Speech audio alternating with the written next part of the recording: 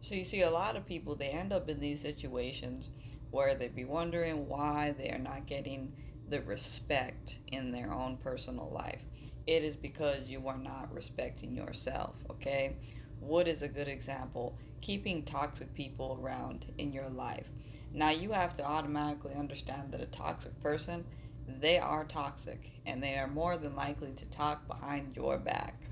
And so you know you're aware of this. You get around their energy and you know they gossip. You know that they're no good, but you still choose to surround yourself with that energy.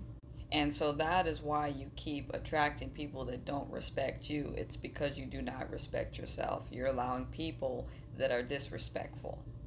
Now, when you know this and you understand that all the universe is doing is just attracting what you are, God is not doing this to you and all this other stuff. No, it is you that is continuing the cycle of not having respect in your life. When you learn to realize that your problems are about you, then shit starts to change. It's all about personal accountability, folks.